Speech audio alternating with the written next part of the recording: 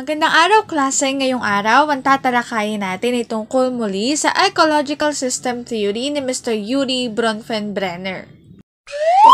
Magbasa, makinig, matuto at magsaya. Ako si Binibining Menya. Handa na ba kayo? Tara na, umpisa na nating isa-isahin at pirapirasuhin ang mga detalyeng nakapaloob dito. Katulad ng binanggit ko kanina, ang ating talakayan ay iikot lamang muli sa ecological system theory. Partikular na sa unang system o microsystem. Kamakailan natalakay na natin na may limang system na nakapaloob sa ecological system theory ni Mr. Yuri Bronfenbrenner.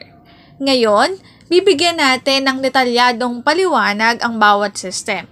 Magsisimula muna tayo sa una o mas kilala bilang microsystem. The microsystem. The Bronfenbrenner theory suggests that the microsystem is the smallest and most immediate environment in which children live. Para kay Mr. Bronfenbrenner, ang microsystem ang pinakamaliit at pinakamalapit na environment sa isang bata.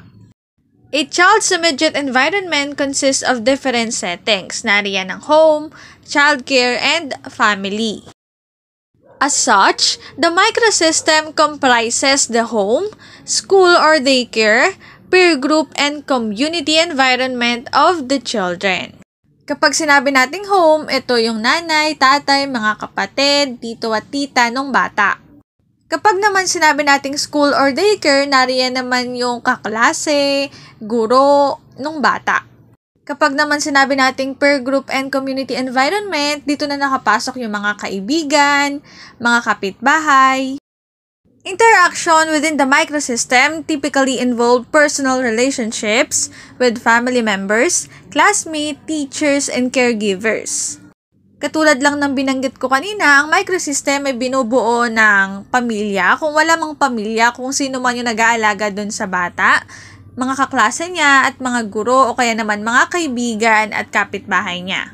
How this group of individuals interact with the children will affect how they develop. Ibig sabihin lang, kung ano man yung maging trato ng kapatid, kaklase, kaibigan, guro doon sa bata, makaaapekto yon sa paglaki or pagdevelop ng personality ng bata. Halimbawa, yung interaction sa loob ng tahanan. Yung anak, lagi siyang pinagagalitan ng nanay niya.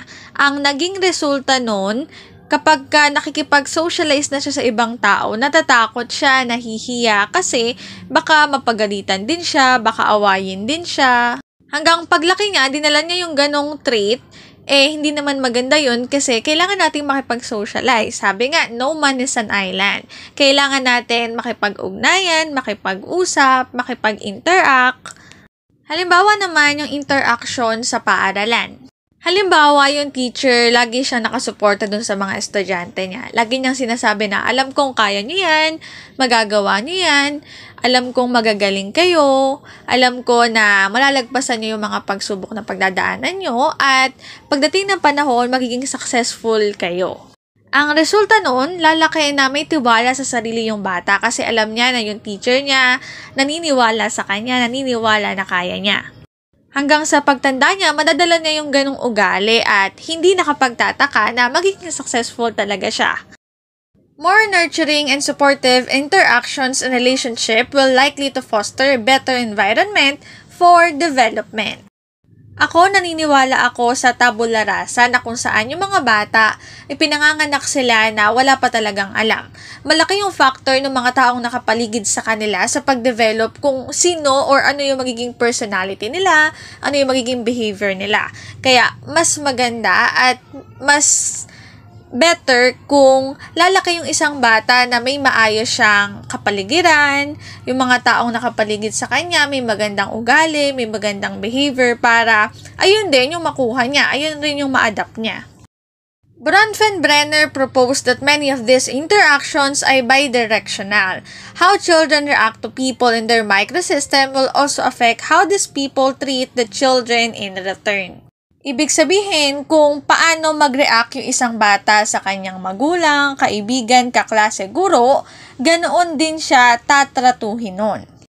Kumbaga, kung ano yung ginawa mo, ayun din yung mararanasan mo. For example, a little boy playing alone in a room. This little boy suddenly bursts out crying for no apparent reason. His mother, who is making lunch in the kitchen, hears the boy crying. She comes into the room, picks the little boy up, and carries him to the living room. In the above example, the little boy initiated the interaction. Yung interaction na tinutukoy dito is yung pag-iyak ng bata. And his mother responded. In a way, the little boy influenced his mother's behavior. Dahil doon sa ginawang pag-iyak ng bata, yung nanay niya mas naging caring, mas naging mapagmahal doon sa bata. Kasi 'di ba, may choice naman yung nanay na wag buhatin eh, pero ang ginawa niya, kinuha niya yung bata at dinala niya sa sala para hindi na ito umiyak.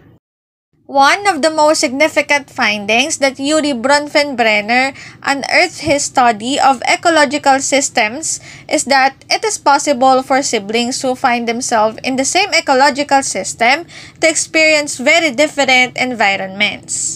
Isa sa mga nadiskubre ni Mr. Yuri Bronfenbrenner is pwedeng lumaki yung dalawang bata na magkaiba yung behavior kahit na same naman sila ng environment na kinalakihan. Maaring dahil iyon sa magkaibang pagtrato doon sa magkapatid. Halimbawa kanina, di ba yung bata umiiyak siya at ang naging response ng nanay is kinuha niya yung bata, dinala niya sa sala para tumahan. Maaring kapag yung isang kapatid naman yung umiyak, baka ang response ng nanay doon is hinayaan lang niya. Sa ganong pamamaraan, pwedeng magkamukha yung environment na kinalakihan, pero mag-develop sila ng magkaibang behavior. Therefore, given two siblings experiencing the same microsystem, it is not impossible for the development of them to progress in different manners. Katulad lang din ng sinabi ko kanina na yung magkapatid kahit na pareha sila ng kinalakihan, pareha sila ng taong nakasama, pero dahil magkaiba yung reaksyon na natanggap nila, maaaring lumaki sila na magkaiba yung behavior. Each child's particular personality traits, such as temperament, which is influenced by unique genetic and biological factors, ultimately have a hand in how he or she is treated by others. Katulad lang din to nung binanggit kong halimbawa, yung isang bata na kinarga ng nanay at dinala sa sala, maaring maging close siya doon sa nanay niya at magkaroon siya ng tiwala. Mabuild yung trust niya na ang resulta, magtitiwala rin siya sa mga taong makakasama niya sa mga susunod. Sa kabilang banda, yung isang anak naman na hindi binuhat at hinayaan lamang umiyak, maaring malayo yung loob niya doon sa kanyang nanay at mawalan din siya ng tiwala doon sa mga taong makakasalamuhan niya in the near future. Sa kabuuan, malaki yung ambag sa pag-develop natin ng ating mga behavior kung paano ba tayo tratuhin ng mga taong nakapaligid sa atin. Kapag masama sila, maaring maging masama rin tayo at kapag naman mabuti sila, maaring lumaki rin tayo na mabuti. Ang link na ito ang aking source sa mga written information na makikita nyo sa bawat slides. Kung gusto nyo pang mag-aral tungkol sa topic na ito, maaari nyong bisitahin ang link na ito. Dito na nagtatapos ang ating talakayan. Sana ay marami kayong natutuhan. Paalam!